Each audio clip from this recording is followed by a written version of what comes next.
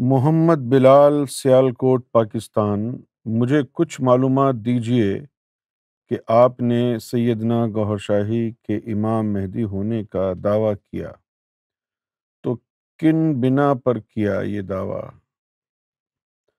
उनके क्या मोजज़ात जिनकी बिना पर आपने इमाम मेहदी माना? मेरा सवाल जो होंगे, उस पर आप मेरे साथ तवज्जो कीजिएगा ना, कि मेरी किसी बात का बुरा मनाइएगा। क्योंकि जब रहनुमाई हासिल करनी हो तो इस तरह के सवालों जवाब तो होते ही है ना। तो जब तक कि मेरा एतमाद नहीं होगा तो ज़ाहिर सी बात है, मैं कैसे समझूं, समझ पाऊँगा।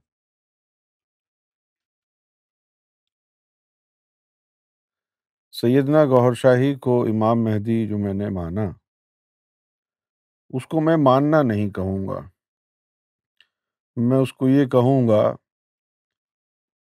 कि मेरी तहकीक के नतीजे में ये नतीजा बरामद हुआ कि वो ज़ात आली मर्तबत,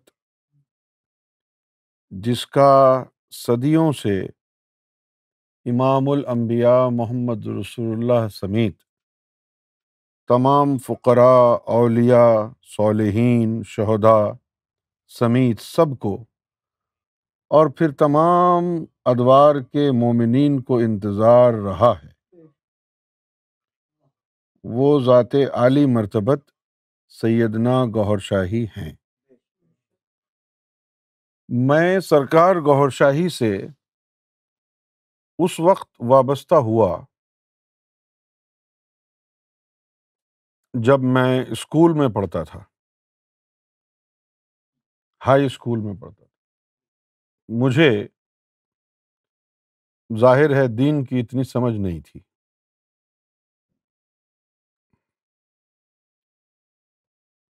लेकिन अल्लाह के रसूल की मोहब्बत का पोटेंशियल मुझे नज़र आता था अपने अंदर। ये नहीं कह रहा कि मोहब्बत थी। हुजूर की मोहब्बत का एक रंग महसूस होता था कि दिल में आकाए दो जहाँ ख़ातबिन नबीयीन मोहम्मद रसूलुल्लाह सल्लल्लाहु अलैहि की मोहब्बत का रंग है।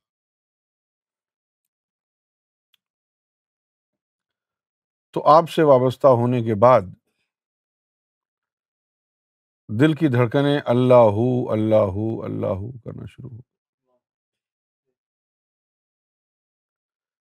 कुछ ही अरसा गुजरा था कि दिल के ऊपर इसमें ज़ात अल्लाह भी नक्श हो गया। और फिर सीने के पाँचों लताइफ भी करने लगे।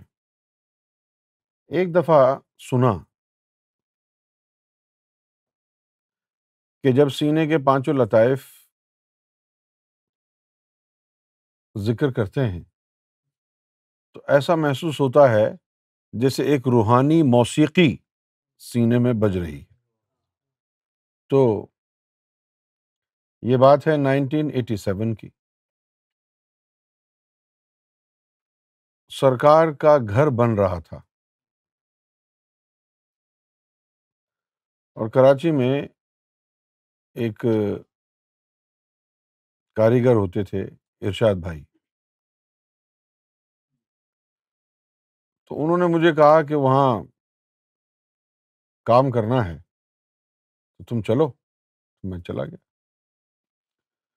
तो रात के दो ढाई बजे हम गड़ा खोद रहे थे। सरकार का वो जो घर है, बन रहा था। गड़ा खोद रहे थे। ढाई तीन बजे का रात का वक्त होगा। इरशाद भाई खुदाई कर रहे थे और मैं मिट्टी वहाँ से उठा उठा के दूसरी जगह ले जा रहा था। यही कर रहे थे तो अचानक देखा कि सरकार जो है दरवाजे से तशरीफ़ ले आए। सरकार ने बनियान पहना हुआ है। जुल्फ मुबारक जो हैं वो लहरा रही हैं। और धोती बांधी हुई है। और आके खामोशी से वहाँ ईंट उठा के उसमें बैठ गए। और हम जो है वो काम करते रहे। तो जब सरकार ने ये देखा कि मैं मट्टी उठा के जाऊँ तो मैं घूम के जा रहा था। सरकार को पीट ना हो।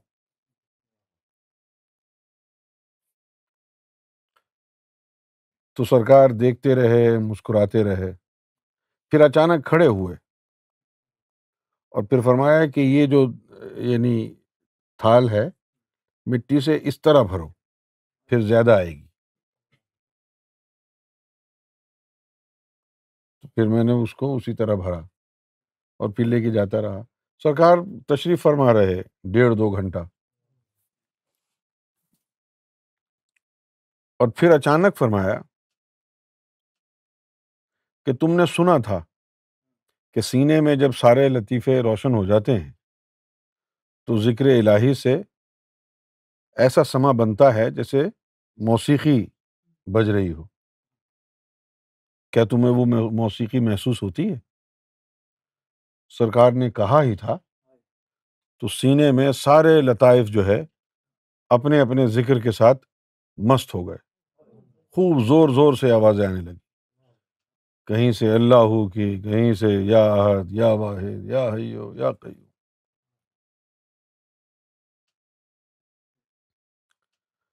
मैं बातें थोड़ी थोड़ी सेंसर करके बताता हूँ। वरना हमारी कौम ऐसी है कि ये जो है, खुदनुमाई का इल्ज़ाम लगा देते हैं। देखो जी, क्या बात कर रहे हैं यार, देखो ये।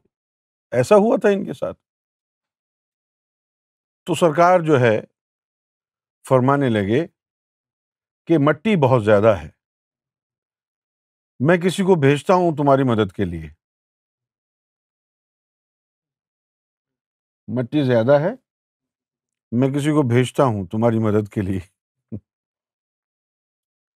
तो मैं ये सोचने लगा कि अगर यहाँ पर कोई होता तो पहले ही आ जाता मदद को।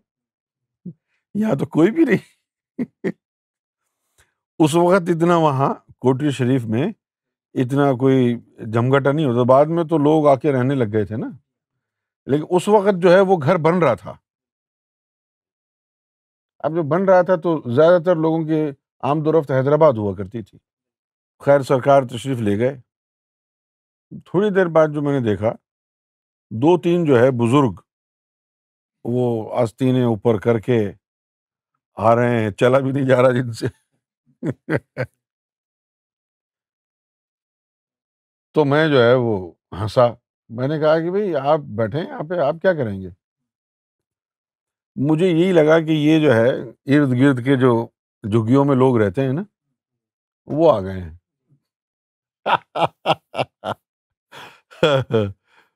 क्योंकि वहाँ कुछ आबादी थी। तो वो बुज़ुर्ग जो है, बड़े खुर्राट थे। हाँ। यानी मैंने जो बात कही, उसका उन्होंने नोटिस ही नहीं लिया। और बस आँखें सुर्ख हैं उनकी और चल रहे हैं और बजरी भर रहे हैं, उसमें मिट्टी डाल रहे हैं और उठा के जो है ले जा रहे हैं। जल्दी जल्दी ले जा रहे हैं। तो उनमें से जो एक बुज़ुर्ग थे, मैंने उनको कहा कि, साईं, आपका नाम क्या है? यानी मैं ऐसे ही बच्चा था ना, अभी इतना ज़्यादा बड़ा तो नहीं था, यानी शरारती मूड मैंने कहा, आपका नाम क्या है? तो वो कहने लगा, फरीद। फरीद। मैंने बोला, आगे पीछे नहीं है कुछ? तो जवाब नहीं तो दूसरा जो है, बुज़ुर्ग, उससे मैंने पूछा कि आपका नाम क्या है? तो वो कहता है, अली। बाद में पता चला कि वो अली हजवेरी है। दाता अली गंज बख्श रहमतुल्लाह तो नाम उन्होंने बता दिए। उस वक्त मेरे जहन में नहीं आया कि ये फरीद और ये अली और ये मोइनुद्दीन ये कौन है। लेकिन कसम खुदा की आप यकीन करें ये जो लोग थे, मट्टी उठा उठा के ले जा रहे हैं।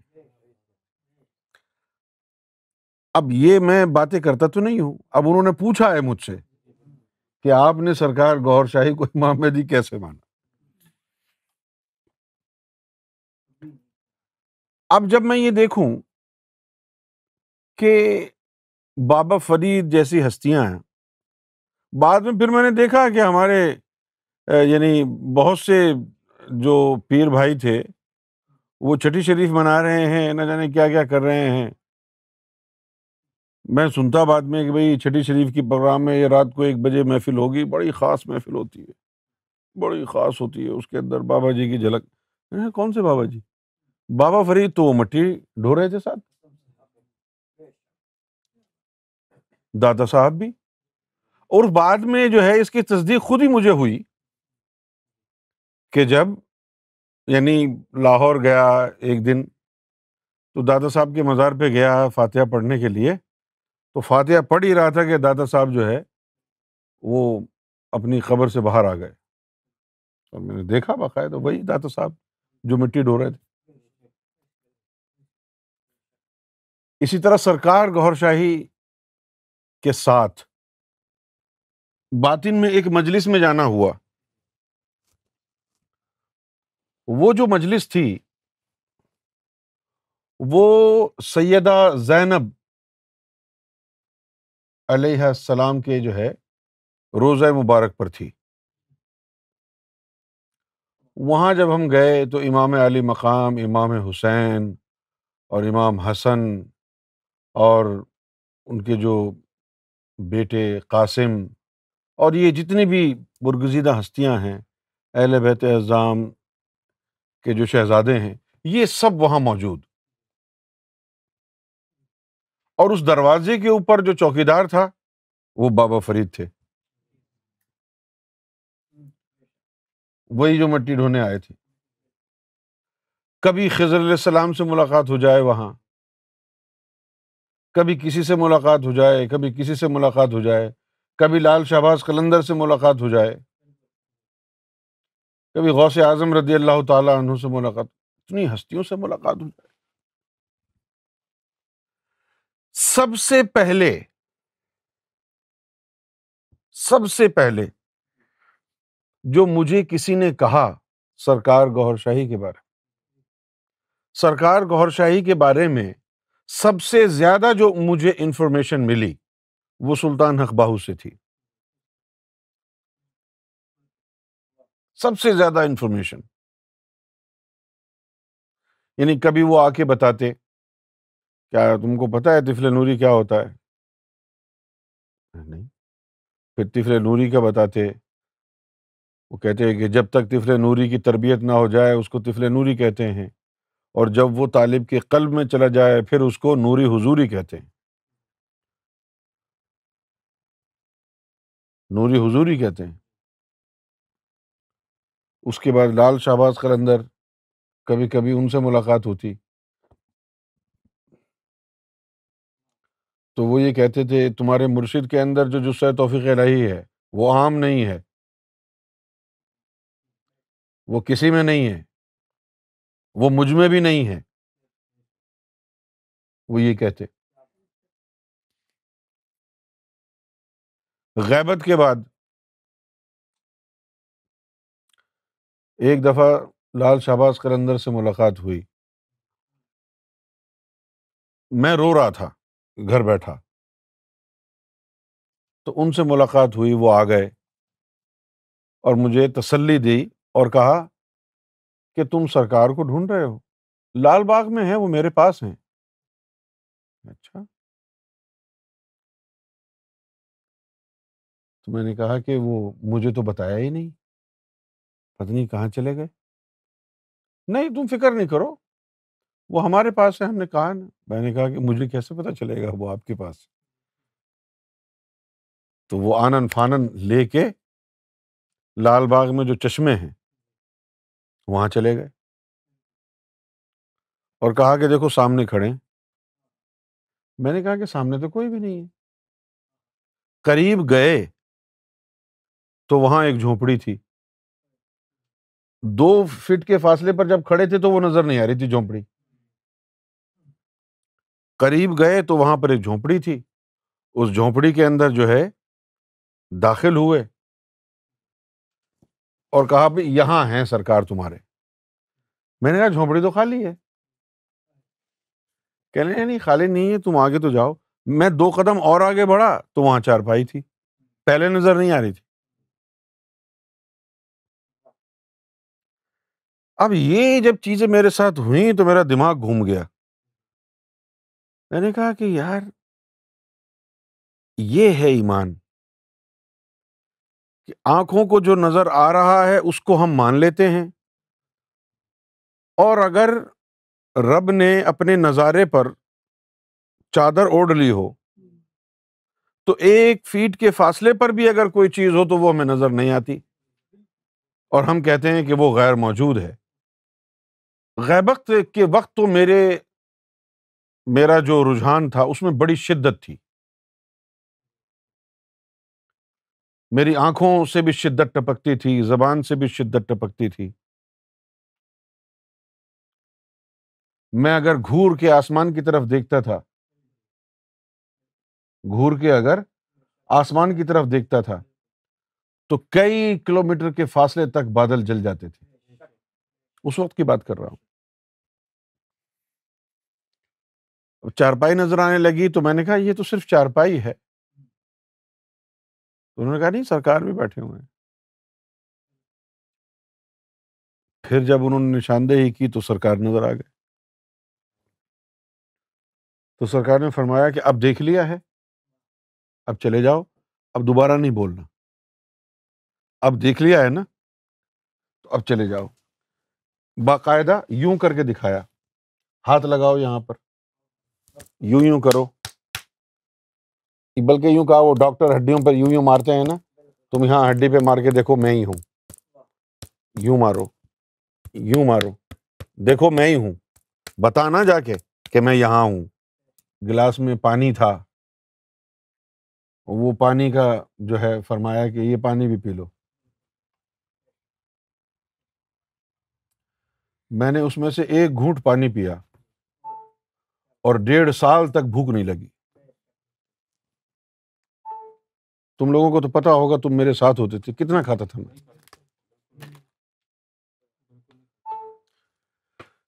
डेढ़ साल तक भूख नहीं लगी।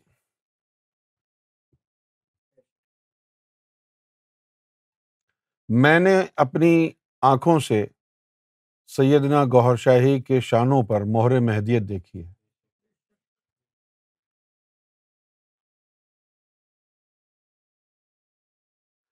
सरकार के जो नाखून हैं, थम के, इनके ऊपर अपनी जाहिरी आँखों से एक के ऊपर आयतुल कुर्सी लिखी हुई देखी है। दूसरी पे सूरह यासीन लिखी हुई देखी है।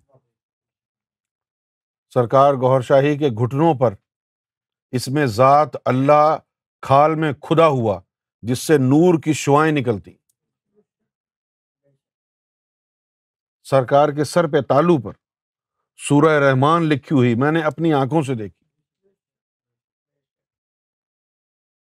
बातिन में और ज़ाहिर में एक ही तरीके पर सरकार को परवाज करते हुए देखा। और फिर सबसे बड़ी बात यह कि नबी करीम सल्लल्लाहु अलैहि वसल्लम ने फरमाया कि सैयदना गौहर शाही इमाम महदी हैं, इनका ऐलान करो। अब ये चीदा चीदा बातें हैं, तफसील में नहीं गया मैं, जिनकी बिना पर मेरा दिल मुतमिन हो गया कि सैयदना गौहर शाही इमाम महदी हैं। मेरे लिए सरकार गौहर शाही को इमाम महदी मानना बड़ा ही आसान था, इसलिए कि तस्दीक करने वाली हस्तियाँ जो हैं, उन तक मेरी रसाई थी। उन्होंने मुझे खुद कहा कि ये हक है तो इसलिए मुझे मानने में कोई दुश्वारी नहीं हुई, बड़ी आसानी से। और ये ईमान जो है मेरा कायम और दायम है। और मुझे इस बात का पूरा यकीन है कि इस ईमान पर मरने के बाद भी कायम रहूँगा। और इस ईमान की वजह से अगर कोई मुझे मारना चाहेगा तो मैं उफ नहीं करूँगा। क्योंकि ये मेरा ईमान है। मैं किसी और को नहीं कह रहा ज़बरदस्ती कि तुम मानो वरना ये हो जाएगा, वो हो जाएगा। मैं ये कह रहा हूँ कि मैं मानता हूँ, मैं तस्लीम करता हूँ। और मैं क्यों तस्लीम करता हूँ, इसका मैंने बता दिया है। आपको क्या लगता है, आप खुद तहकीक करें? बहसीत मुसलमान, आपका हक है ना कि इमाम मेहदी को ढूंढें? तो ढूंढें आप। पहले दिन का वाकया जो मैंने, जो सरकार गौहर शाही की बारगाह में हाजिर हुआ, जो पहले दिन का वाकया था, जब मैंने ज़िक्र लिया। तो मैंने ज़िक्र लिया तो उस वक्त जो है, पहले तो सरकार ने मगरिब की नमाज़ जो है, उसकी इमामत फरमाई।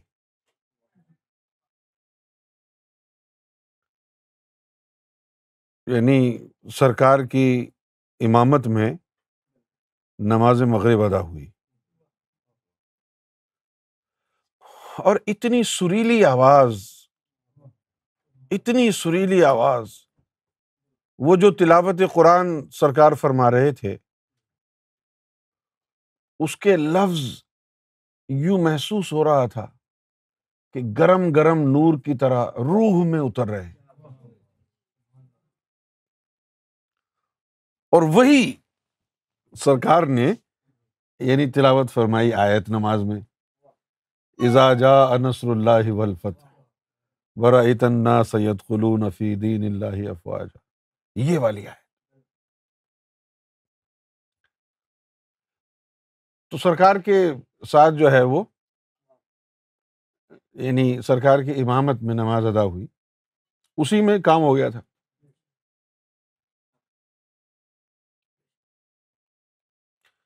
क्योंकि मैं देखता था कि सरकार खड़े हुए हैं और सरकार सजदे में भी है।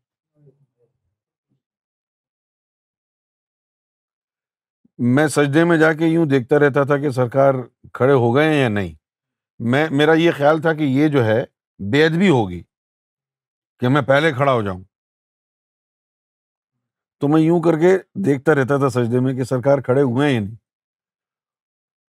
और सरकार जो है, वो सजदे की हालत में ही है। तो मैं खड़ा ही नहीं हो रहा? लेकिन सरकार सजदे की हालत के अलावा खड़े हो भी चुके हैं। यानी ऐसी ऐसी चीज़ें जो हैं पहले दिन। फिर ज़िक्र मुझे अभी भी याद है, कैसे आए? तो मैंने कहा कि सरकार ये बंदा मुझे लाया उसकी तरफ़ इशारा करके ये ये मुझे लेके आया है।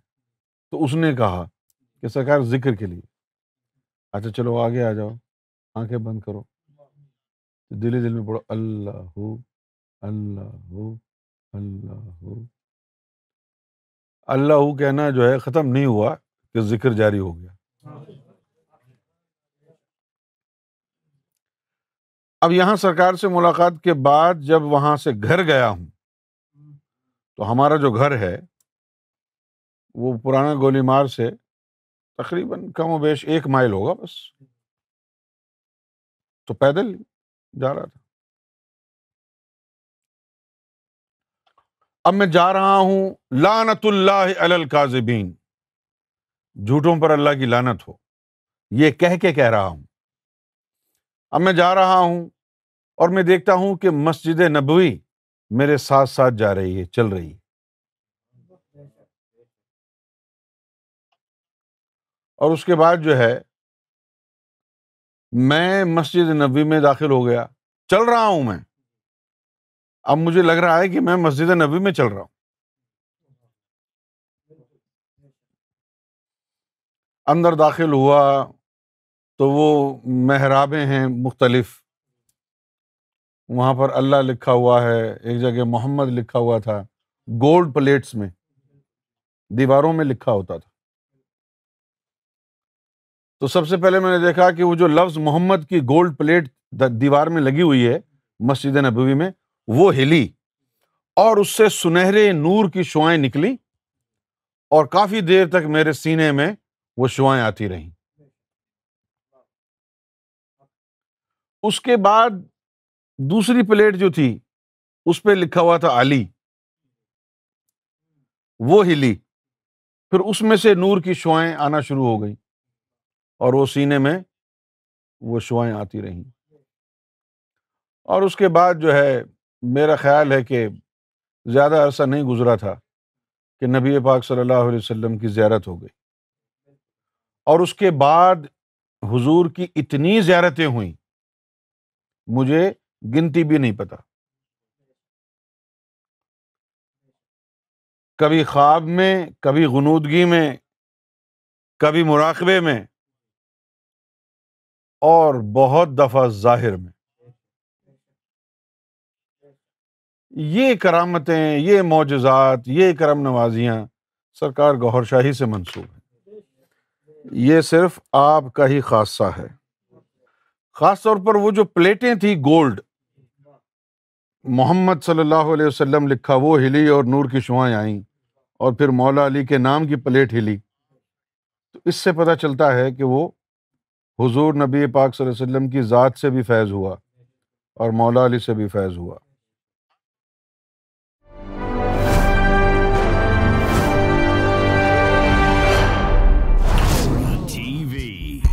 Bringing light, love, and peace in your life.